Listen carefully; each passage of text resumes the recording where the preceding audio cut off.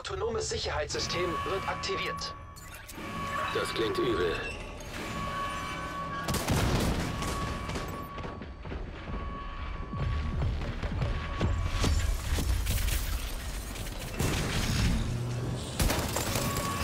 Kritische Überladung